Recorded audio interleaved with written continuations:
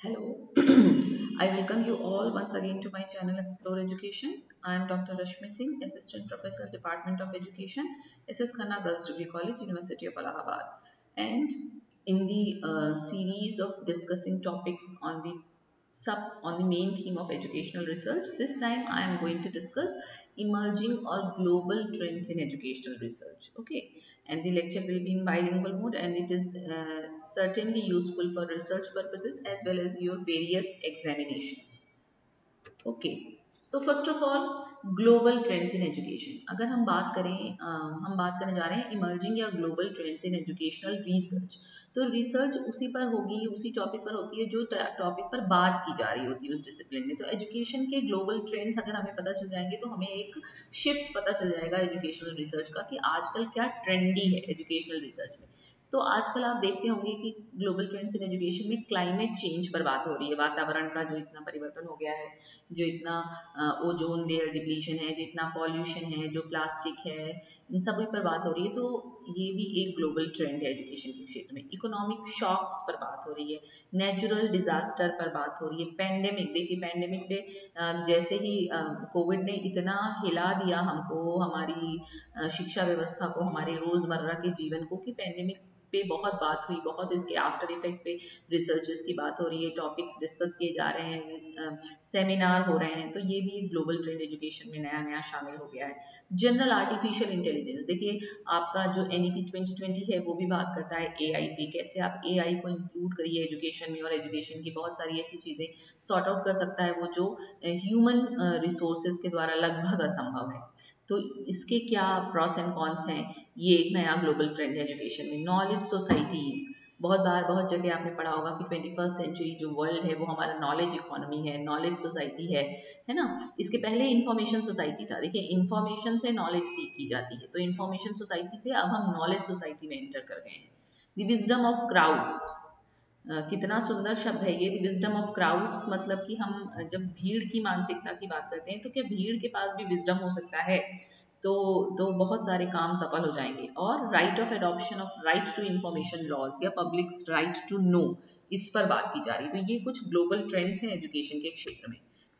Global या global education trends and research to follow किस पर बात हो रही है। रिसर्चेस किस दिशा में जा रही हैं एजुकेशन के क्षेत्र में?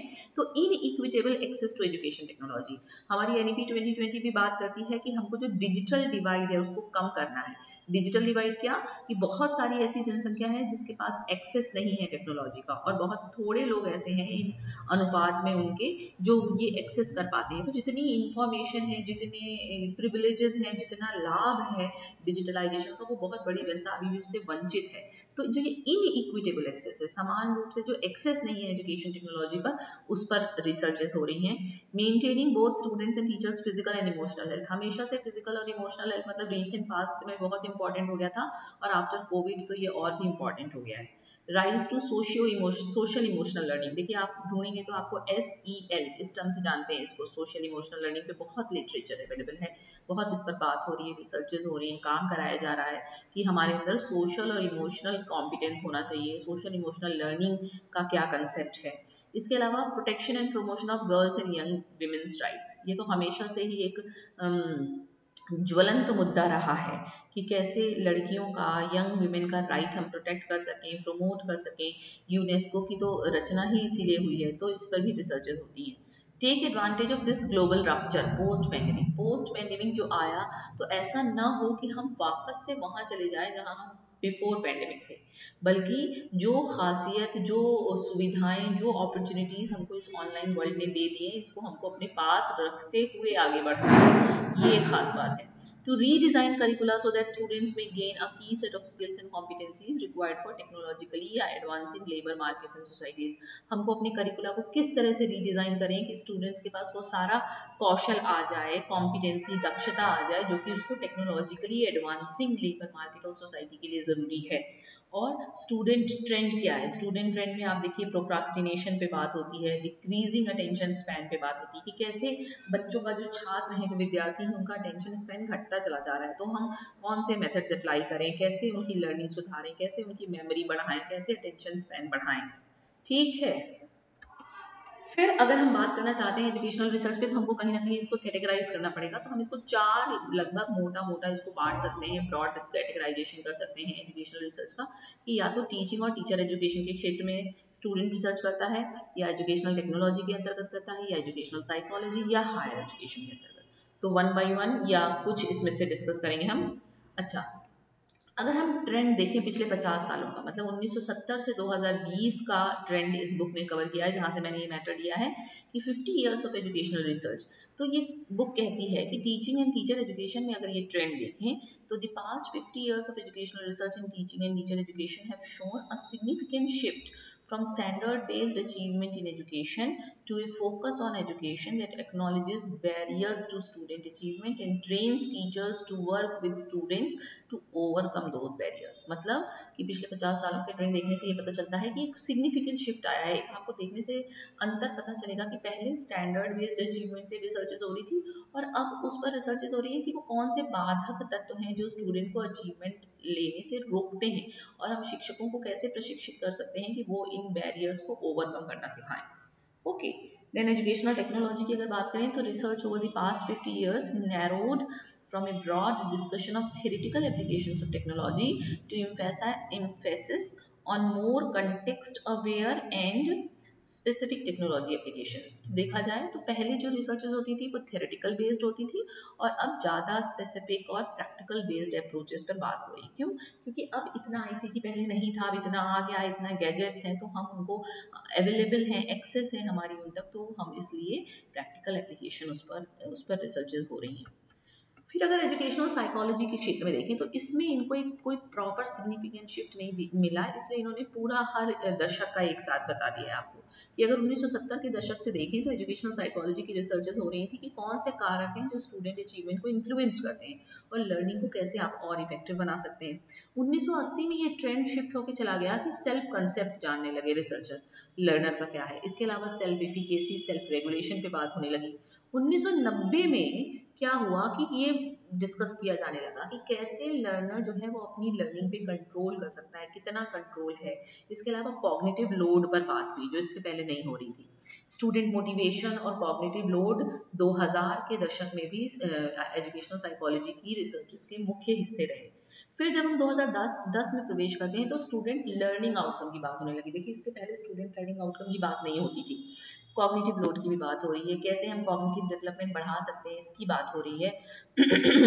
फिर जब 2010 से हम आगे बढ़ते हैं तो भी स्टैटिक स्टैटिस्टिकल प्रोसेसेस रिसर्च में क्या है इंस्ट्रक्शनल टेक्नोलॉजी की बात होने लगी। देखिए, जो आपका एजुकेशनल टेक्नोलॉजी है, उसके दो हिस्से हैं इंस्ट्रक्शनल टेक्नोलॉजी और लर्निंग टेक्नोलॉजी तो हमें ये ध्यान देना चाहिए। और 2020 में रिसर्च जो है वो स्पेसिफिक डिस्कशन हो रहा है कि सेल्फ इफिकेसी पढ़ी जा रही है intersection of effort and self regulation पढ़ा जा रहा है। तो मतलब ये इन्होंने दशक वाइज निकाला है। कैसे निकाला है? मतलब जो रिसर्चेज होती है, वो जर्नल्स में पब्लिश होती है तो उन्होंने टॉप मोस्ट जर्नल्स ले लिए और देख लिया कि किस दशक में एजुकेशनल साइकोलॉजी पे कितने सबमिशन ऑफ़ आर्टिकल्स हैं। तो उससे एक ट्रेंड इन्होंने पता करने की कोशिश की। तो बहुत अच्छी किताब थी ये। पढ़ा मैंने इसको। और फिर अगर हायर एजुकेशन में देखें तो ये क्या कह रहा है कि over the past five decades higher education has shifted its focus from teacher centred research to student centred research हम सभी ने इसको महसूस किया है कि रिसर्च जो शिक्षा प्रणाली है, वो शिक्षक केंद्रित से शिक्षार्थी केंद्रित हो गई है। तो ये ट्रेंड रिसर्च में भी साफ़ साफ़ दिखाई दे रहा है। Increase focus on student experience also mean the emergence of research on issues students face मतलब स्टूडेंट हायर एजुकेशन में क्या क्या इश्यूज़ फेस करते हैं, जैसे कि फाइनेंशियल रिस्पॉन्सिबिलिटी है रेशियल डिस्क्रिमिनेशन है एट्सेट्रा एट्सेट्रा ठीक है। फिर अगर हम हमने किसमें बांटा था सब discipline teaching and teacher education educational technology educational psychology और आपका हायर एजुकेशन तो टीचिंग और टीचर एजुकेशन में अगर हम इमर्जिंग रिसर्च ट्रेंड की बात करें तो फिलोसॉफिकल फाउंडेशन पे बात हो रही है। आईसीटी का क्या यूसेज है टीचर एजुकेशन में? टीचर इथिक्स पे बहुत काम हो रहा है। एटीट्यूड टुवर्ड्स ऑनलाइन टीचिंग ये नया नया जुड़ा है टीचर एजुकेशन के क्षेत्र में। और sustainability in education and pre service teachers पे भी बहुत रिसर्चेज आपको मिल जाएँगे। तो ये एक emerging research trends teacher education के क्षेत्र में आपको मिलेगा। अगर आप डाइवर्सिटी की बात करें कि रिसर्च इन टीचर एजुकेशन कितना डाइवर्स है तो बहुत डाइवर्स है।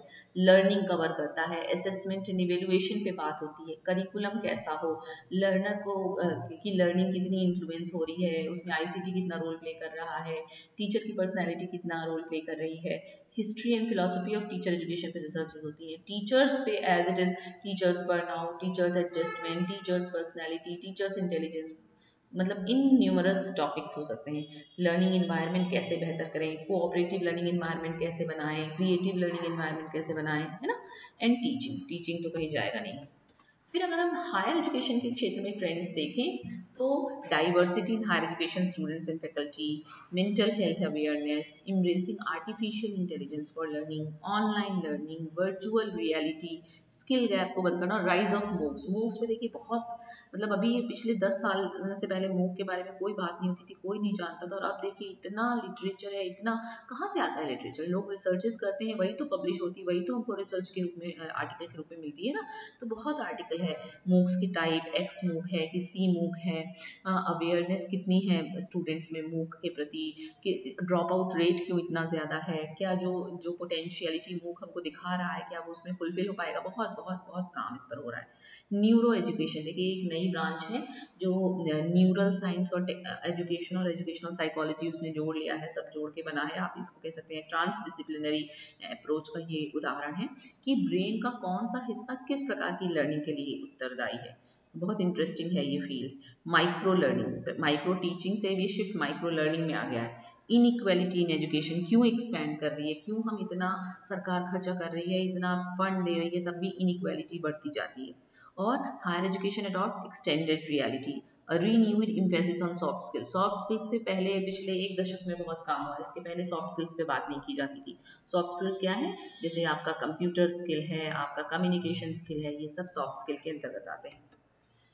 फिर अगर हम पूरा सब कुछ मिला दें तो हम देखें कि रीसेंट ट्रेंड एजुकेशनल रिसर्च के क्षेत्र में क्या है। तो ICT in education recent trend है कोविड ने इसको और हाईलाइट कर दिया। इसमें डिजिटल नेटिव्स आजकल के जो स्टूडेंट्स हैं, उनको डिजिटल नेटिव कहा जाता है। जो टीचर्स हैं, वो चूँकि उनमें इतना एज गैप है, वो डिजिटल इन माइग्रेंट हैं गेमिफिकेशन है एआई है ब्लेंडेड लर्निंग ब्लेंडेड लर्निंग के देखिए कितने नाम है।